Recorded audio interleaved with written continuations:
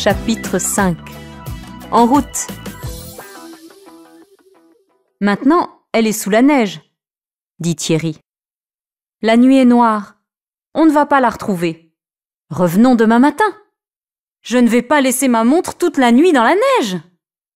J'ai une idée, dit Elsa. Un professeur de ski a un chien de montagne.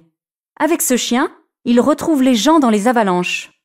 Il les retrouve morts ou vivants? Demande Rémi. Rémi fait des blagues bizarres parfois. Ton professeur demande Thierry. Il habite loin d'ici? Un kilomètre par la montagne. Mais c'est un peu dangereux la nuit. Que faire? Le professeur ne va peut-être pas vouloir s'occuper d'une montre. Et puis, aller chez lui et revenir au collège, ça va prendre du temps. À quelle heure est-ce qu'ils vont dormir avec cette histoire? Mais est-ce qu'ils ont envie de dormir? Ils entrent dans la forêt. Heureusement qu'Elsa connaît bien la montagne. On ne voit pas le chemin. Il fait très noir et il y a de la neige partout. Beaucoup de neige et de grands arbres, tous pareils. Zoé et les autres marchent derrière Elsa. Ils ne savent plus où ils sont. Ils ont un peu peur. Dans le ciel, on voit la lune, toute ronde, toute blanche, et on entend des animaux qu'on ne voit pas. Et puis soudain, devant eux, il n'y a plus d'arbres. Ils sont devant une sorte de couloir, un peu comme une piste de ski. Ce n'est pas très large, 50 ou 100 mètres, difficile à dire dans la nuit. Mais c'est très long. Pourquoi est-ce qu'il n'y a plus d'arbres ici? demande Zoé d'une petite voix. C'est un couloir d'avalanche, explique Elsa. C'est un endroit très dangereux. Il y a parfois des accidents, des accidents graves. Qu'est-ce qu'on fait? On y va. Ne parlez pas et marchez doucement. Doucement? Comment marcher doucement dans un couloir d'avalanche? Plus personne ne parle. Même Rémi ne dit rien.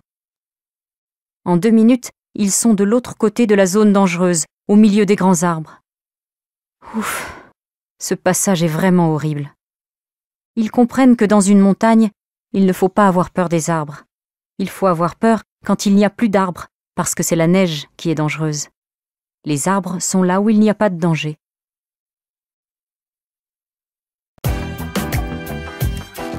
Chapitre 6 Chez Monsieur Paul Monsieur Paul, le professeur de ski, habite au milieu de la forêt, dans une jolie maison avec de grandes fenêtres et un beau jardin.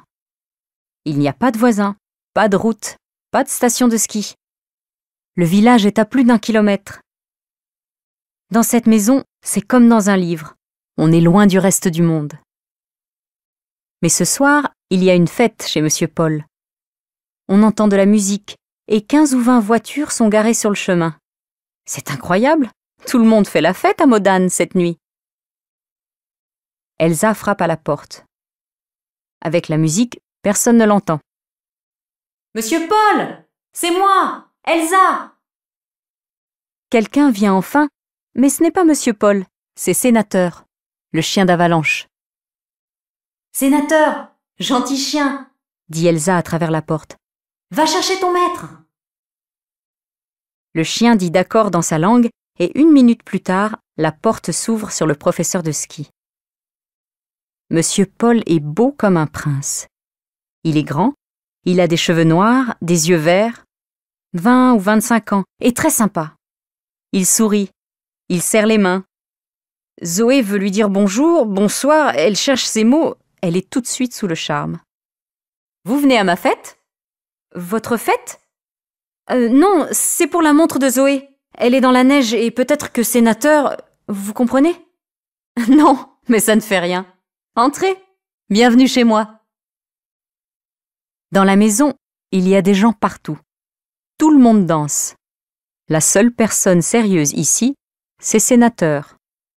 Le chien regarde la fête comme un vieux monsieur. Il observe et il pense. C'est un très beau chien, très grand, très fort et très gentil. Il dit bonjour aux enfants, puis il va se coucher sous une table, un endroit où on ne va pas lui marcher sur la queue. Plus personne ne s'intéresse à la montre de Zoé. Zoé commence à être fatiguée. Skier toute la journée, danser toute la nuit, elle a envie de dormir. Elle déteste les fêtes, elle déteste la montagne et les montagnards, elle est nulle, elle tombe toujours et elle ne comprend rien. Jamais elle ne va revenir à Modane, elle veut rentrer dans sa famille, à Lyon, elle veut retrouver sa chambre, ses affaires, son école, ses amis. Mais ce n'est pas vrai. Zoé ne déteste pas les fêtes. Elle commence à penser que la musique est très bonne, le dernier CD de Grand Corps Malade. Et elle commence à trouver que Monsieur Paul est très beau et que le monde entier est fantastique. Il est très tard, mais elle ne sent plus sa fatigue. Petit à petit, la musique monte en elle. Et elle danse. Elle oublie l'heure. Elle oublie sa montre. Elle oublie le réveil à 7h30 du matin. Elle danse avec Monsieur Paul. Non, avec Paul. Parce qu'il ne veut pas qu'on l'appelle monsieur. Il trouve que ça fait école et devoir de classe. Ce soir, c'est la fête. Il n'y a pas de monsieur ni de mademoiselle. Il y a la danse et la musique. Paul. Paul est beau et gentil. Il est un peu vieux, 25 ans. Mais personne n'est parfait, et Zoé l'aime comme il est, avec ses yeux verts et ses larges épaules. Un sportif. Normalement, elle déteste les sportifs. Les sportifs sont comme Rémi. Ils n'ont rien dans la tête, ils font toujours des blagues stupides et ils ne comprennent rien. Mais Paul, ce n'est pas pareil. Paul est un sportif très spécial. Un sportif plein de charme, un prince sportif. Oui, c'est ça. C'est un prince, dans une grande maison, au milieu de la forêt, un prince charmant, et il n'a pas encore trouvé sa princesse. Comme il danse bien. À une heure du matin, la musique s'arrête. Tout le monde au lit, dit Paul. Nous avons une longue journée de ski devant nous. Bonne nuit les enfants. Mais on est samedi, dit Zoé. On ne va pas dormir maintenant, il n'est pas très tard. Pas très tard Une heure du matin Au lit, princesse, comme les autres. Elsa, tu vas trouver le chemin pour rentrer au collège? Oui, oui, pas de problème. Ce n'est pas loin. Faites attention. La neige est un peu molle en ce moment. Zoé regarde le jeune professeur de ski. Elle est toute rouge. Elle n'arrive presque pas à parler. Princesse. Ses oreilles sont pleines de ce mot.